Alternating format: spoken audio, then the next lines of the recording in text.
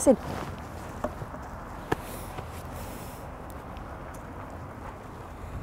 Pläkä on korvaamaton apu SRVA-toiminnassa. Millaiset mahtavat olla Pläkän taidot?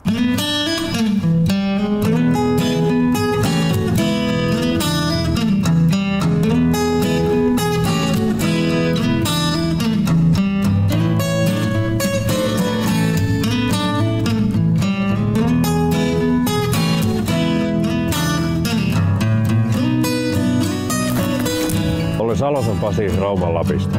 Hän on pläkä, kaksi ja puolivuotias karkeakarvainen mäyräkoirauros. Pläkä on vähän tämmönen omituisen näköinen karkeakarvainen.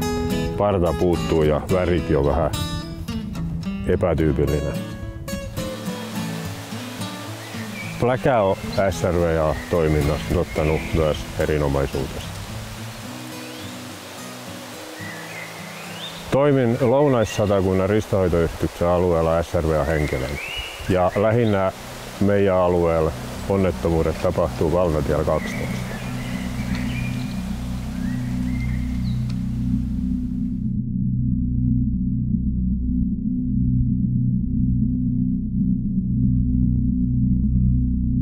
Meidän alueeseen kuuluu valtatie 12 noin 15 kilometrin pätkä, missä vuositasolla tapahtuu joku noin 20 hirvieläinkolaria.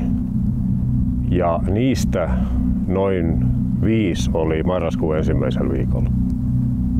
Ja toinen hoippu on toukokuussa.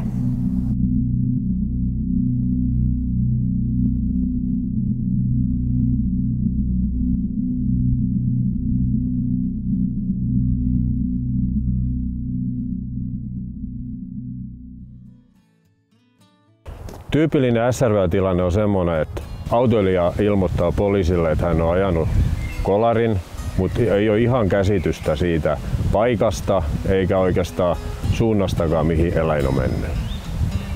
Ja sen jälkeen me lähdetään etsimään sitä kolaripaikkaa. Monta kertaa se löytyy jonkun muoviosan perusteella, mikä on tiellä pudonnut. Sitten me lähdetään pläkän kanssa kulkemaan kolaripaikalta ja yritetään selvittää muutama sadan metrin matkalla, mikä eläin on kyseessä ja kuinka pahasti on loukkaantunut.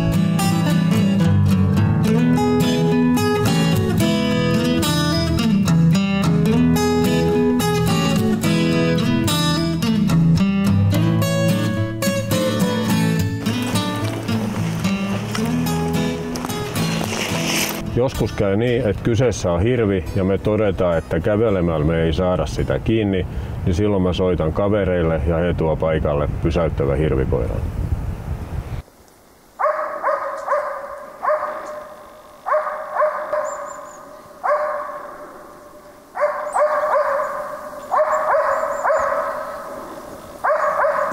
Tämmöisissä tilanteissa niin ilman pläkää se tilanne ei lähde selviämään.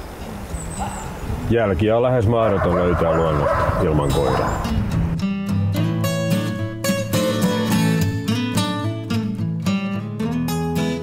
Kolareita sattuu aina, mutta mun ja pläkän työt helpottaisi aika paljon, jos autoilija merkkaisi mahdollisimman hyvin sen paikan, missä kolari on tapahtunut.